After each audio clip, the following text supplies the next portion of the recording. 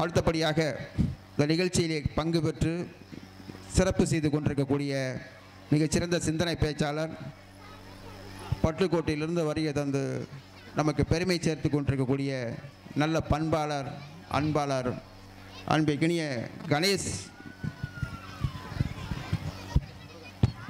கணேஷ் முருகன் அவர்கள் இப்போது சிறப்புரை செய்கிறார்கள். ஆர்மை கிணியானான் கணேஷ் முருகன் அவர்கள் இப்போது சிறப்புரையாற்ற அன்புடன் அழைக்கின்றோம். அன்பு தமிழுக்கு வணக்கம். அன்பு பெற்றோர்களே மணி ஒம்பதாச்சு. உங்களுக்கு இருக்க பிரச்சனை தான் எனக்கும். ஏன்னா இதுக்கு மேலே லேட்டாக போனால் என்னையும் வீட்டில் உள்ள விட மாட்டாங்க. ஓகேங்களா?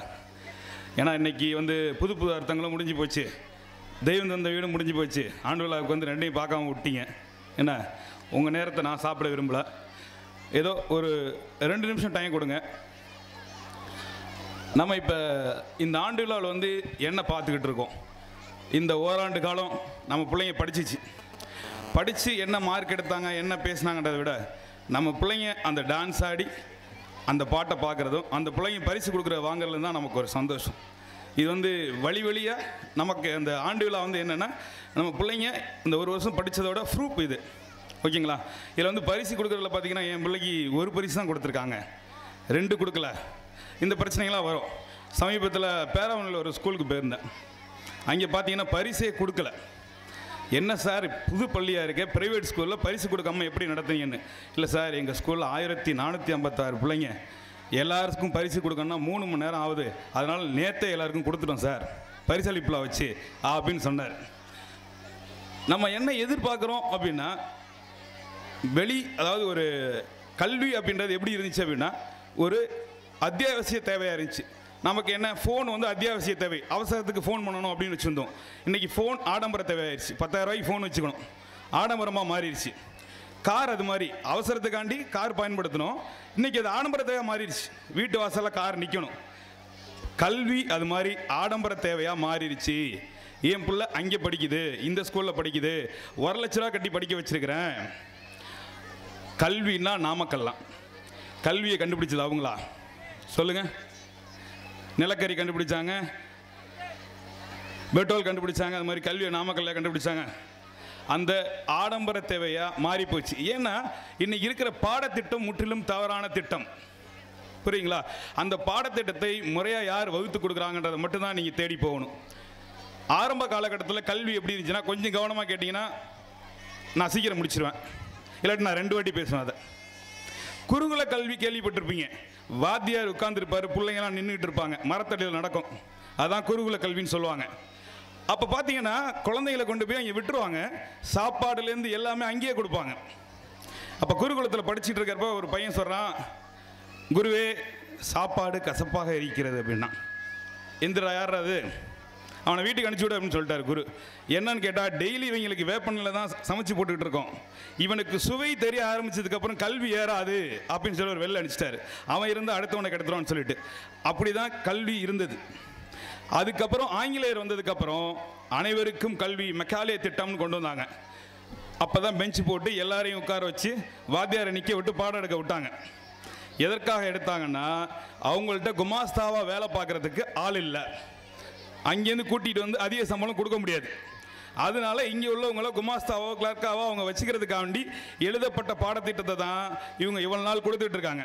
அந்த பாடத்திட்டத்திலேருந்து மாறுபட்டு பிள்ளைங்களை புத்திசாலியாக உருவாக்குறதுக்கு ஒரு சில பாடத்திட்டங்களை ஒரு சில பள்ளிகள் மட்டும் கொண்டு வந்துட்டு இருக்காங்க. அந்த பள்ளிகளை தேர்ந்தெடுங்க. உங்கள் பிள்ளைங்க புத்திசாலியாக வரணுமா? படிப்பாளியாக வரணுமா? சொல்லுங்க. புத்திசாலியாக வரணுமா? படிப்பாளியாக வரணுமா? புத்திசாலியாக வரணும். அதாவது ஒரு நாய் ஒரு கோழியை துரத்திட்டு ஓடுது.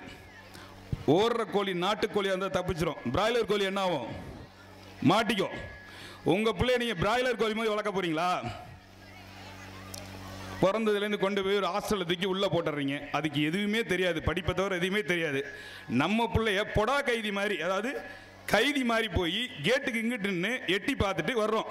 இதே இந்த ரூட்டில் இருக்குது பள்ளி. காலைல போனீங்கன்னா பார்க்கலாம். ஒரு ஒன் ஹவர் டைம் கொடுப்பாங்க. வாரத்தில் ஒரு நாள்.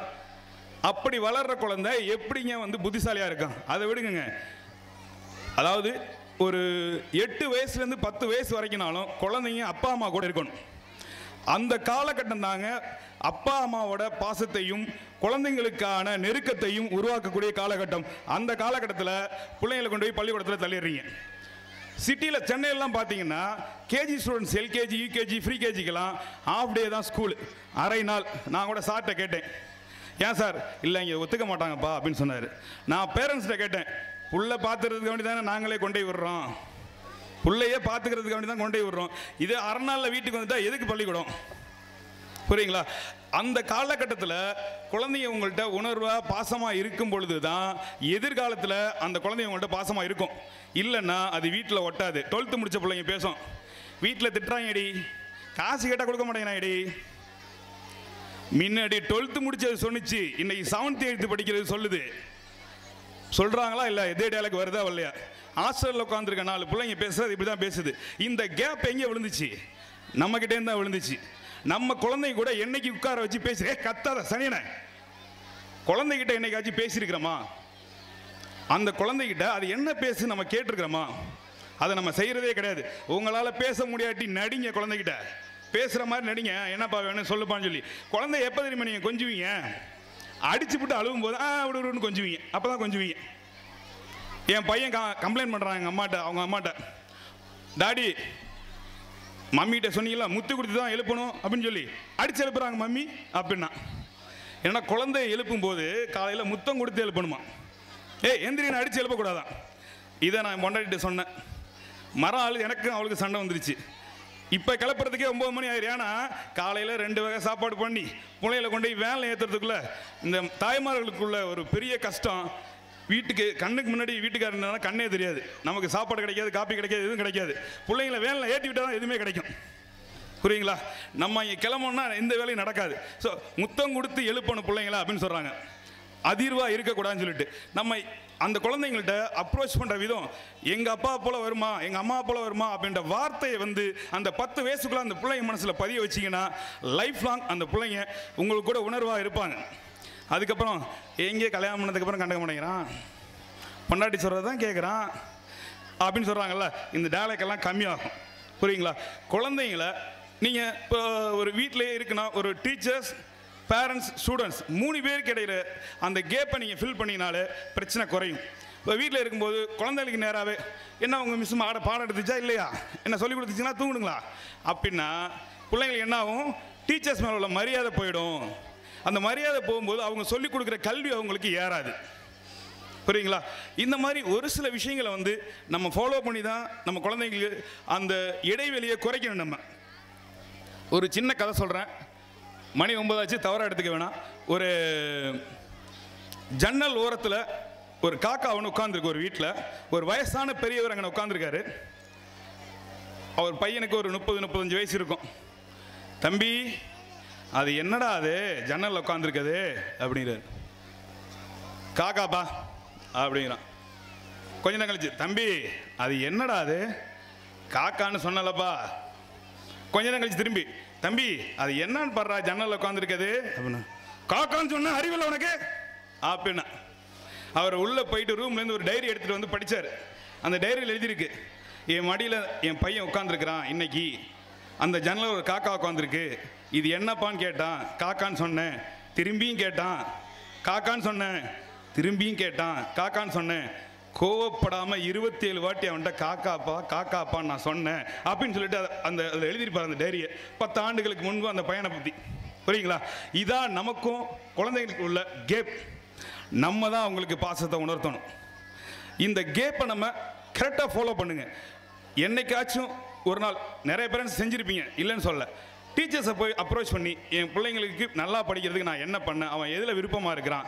ஏதாச்சும் பேசியிருக்கணுமா நம்ம? இதை கண்டிப்பாக செய்யணும்.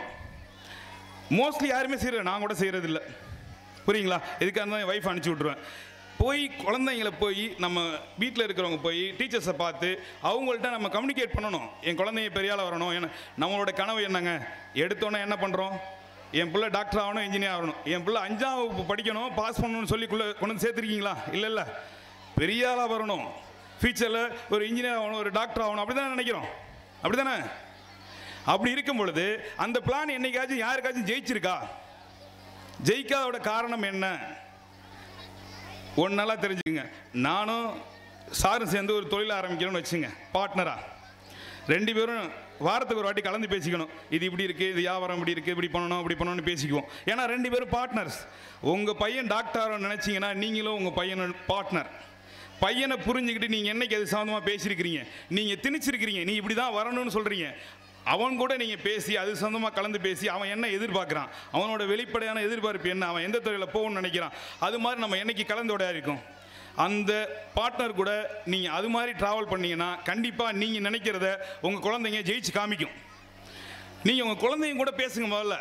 உங்கள் குழந்தைங்க தான் அதோட எதிர்காலத்தை தெளிவாக முடிவு பண்ணுவாங்க. ஏன்னா நம்மளை விட அவங்க அடுத்த ஜெனரேஷன் ரொம்ப ஃபாஸ்ட்டாக இருக்குது அவங்க கூட அவங்களோட எதிர்காலத்தை பற்றி நம்ம டிஸ்கஸ் பண்ணணும்.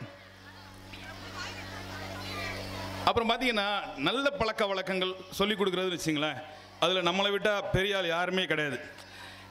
அந்த அங்கிள் வந்திருக்காங்கப்பா வணக்கம் சொல்லு. அது மோஸ்ட்லி கம்மி. ஏய் மாமா அட்ரா. அட்ரா போடன்னு சொல்லு.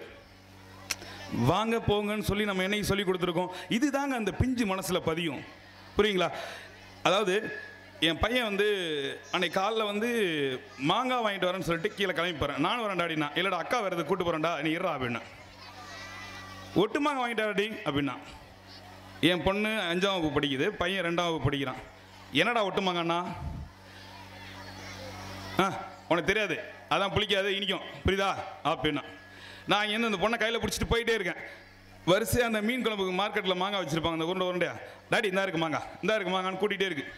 இங்கேருந்து கடைசியாக அந்த ஒட்டு மாங்காய் கிடச்சி. அதை வாங்கிட்டு இங்கேருந்து வர்றேன்? நான் சொன்னால அப்போ டாடி ஒட்டு மாங்காய் தான் வாங்கிட்டு வந்திருக்காரு அப்படின்னா. என் பையன் படிக்கிறது அடுத்த ஆண்டு முழுக்க பிளேவே மெத்தடை மாறப்போகுது இந்த பள்ளி. அதே பிளேவே மெத்தடில் படிச்சுட்டு இருக்கிறான். பிளேவே மெத்தட்னா இவங்க சொல்லி கொடுத்தாங்களே இப்போ. செயல்முறையோட கல்வி. அந்த ஸ்கூலில் என்ன பண்ணுவாங்கன்னா ஆரஞ்சுனா ஆரஞ்சை உரிச்சு கொடுத்து சாப்பிட்டு பாரு இதுதான் ஆரஞ்சு. ஆரஞ்சுன்னு படத்தில் காமிச்சா பிள்ளைங்களுக்கு புரியுமா? ஸோ இதான் ப்ளே மெத்தட் அவன் அங்கே படிச்சுட்டு இருக்கான். என் ஒய்ஃபோட கண்ணிண்டு அவன் வந்து கிறிஸ்டின் இன்ஸ்டியூஷனில் தான் படிக்கணும். நிறைய மார்க் வாங்கணும் என் பிள்ளைய டாக்டர் ஆக்கணும் அப்படின்னா. ஓகே நீங்கள் பொண்ணை இங்கே படிக்க வச்சுக்க பையனை இங்கே படிக்க வச்சுருக்கேன். இதுதாங்க வித்தியாசம். என் புள்ள நான் புத்திசாலியாக வரணும்னு நினைக்கிறேன். என் பொண்ணை என் ஒய்ஃப் வந்து படிப்பாளி ஆக்கணும்னு நினைக்கிறா. நீங்கள் உங்கள் பிள்ளைய புத்திசாலி ஆக்கணும்னு நினைங்க. அது என்னோட வேண்டுகோள். புரியுங்களா? வாய்ப்பு கொடுத்த மணிக்கு நன்றி. நிறைய பேசணும்னு ஆசை. நேரமில்லை. மன்னிக்கு